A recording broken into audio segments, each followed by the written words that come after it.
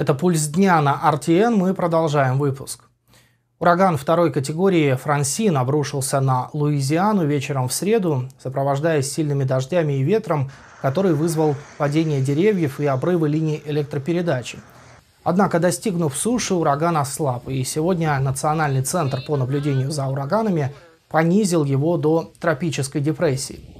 Ожидается, что Франсин превратится в посттропический циклон – Информация о пострадавших или значительных повреждениях пока не поступала, хотя многие дома оказались подтоплены. Ураган достиг штата Миссисипи, вызвав осадки также в Алабаме и части Флориды.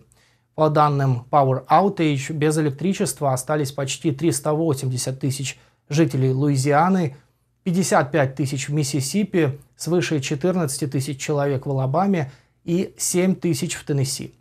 Наибольшее количество отключений было зафиксировано в приходе Тербон и городе Морган.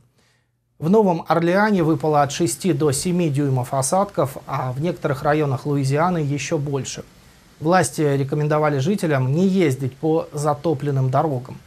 В приходе Сент-Джон-де-Баптист несколько домов оказались затопленными. По словам начальника полиции Кеннера, город столкнулся с самым серьезным наводнением со времен урагана Катрина – Местные СМИ сообщают, что в городе Тилба были спасены 26 человек, включая детей, которых разместили во временном убежище. В Лейквью и Новом Орлеане прохожие помогли спасти людей от наводнения. Агентство Reuters передает, что из-за урагана в среду была приостановлена работа нефтяных платформ в Мексиканском заливе, что привело к сокращению добычи на 39%. Также в шторме застрял круизный лайнер.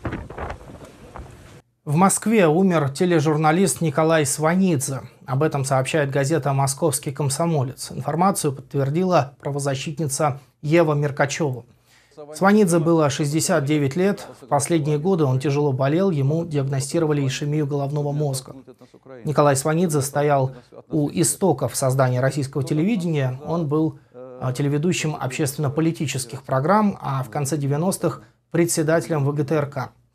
Был ведущим аналитической программы «Зеркало» на телеканале «Россия». С 2013 по 2022 год работал на радиостанции «Серебряный дождь», где также вел новостные и исторические эфиры.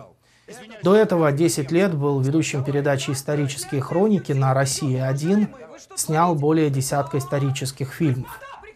В день начала полномасштабного вторжения России в Украину 24 февраля 2022 года в прямом эфире назвал его немотивированным и неспровоцированным нападением России на Украину.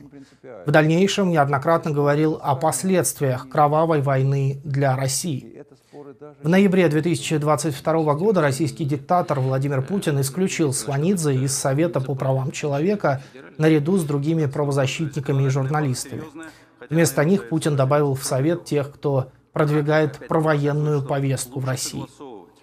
В декабре 2022 года Сванидзе уволили с должности директора Института масс-медиа и рекламы РГГУ, которую он занимал 12 лет. Частный экипаж космического летательного аппарата впервые в истории совершил коммерческий выход в открытый космос. НАСА охарактеризовала это событие как гигантский скачок вперед в изучении космоса. Миссия SpaceX Polaris Dawn, возглавляемая миллиардером Джаредом Айзекманом, стартовала из космического центра имени Кеннеди во Флориде. Выход в открытый космос последовал за первым этапом миссии, в ходе которого космический корабль Dragon поднялся на высоту 870 миль, в три раза выше, чем Международная космическая станция. Сегодня, когда космический корабль Dragon вышел на орбиту высотой 434 мили, скафандры всех четырех членов экипажа начал поступать чистый кислород, что ознаменовало официальное начало их внекорабельной деятельности. Айзекман и член экипажа Сара Гиллис, инженер SpaceX, по очереди выходили из корабля, проводя по несколько минут в скафандрах нового поколения SpaceX, оснащенных дисплеями, камерами на шлеме и улучшенными системами подвижности суставов, а затем возвращались внутрь. Выход завершился через час и 46 минут. Он стал новой важной вехой для SpaceX, компании, основанной Илоном Маском в 2002 году.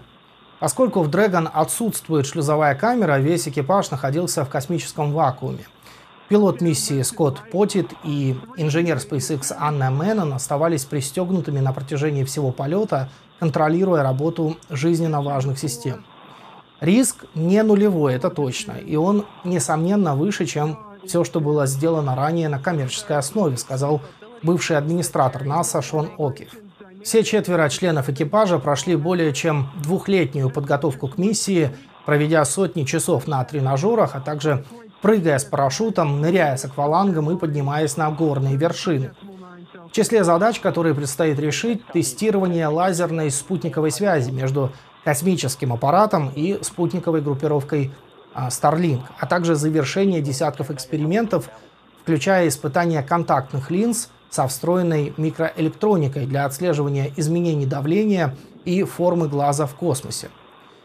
Polaris Dawn – первая из трех миссий в рамках программы Polaris совместного проекта Айзекмана и SpaceX. Финансовые условия партнерства пока не разглашаются, но Айзекман 41-летний основатель и генеральный директор Shifts for Payments предположительно вложил 200 миллионов долларов из своего состояния в орбитальную миссию SpaceX. Нынешняя миссия Polaris должна стать первым полетом с экипажем на звездолете SpaceX прототипе ракеты нового поколения, которая является ключевой для воплощения планов по колонизации Марса. Пока что на этом все. Я не прощаюсь. В следующем часе увидимся с вами в вечерних новостях.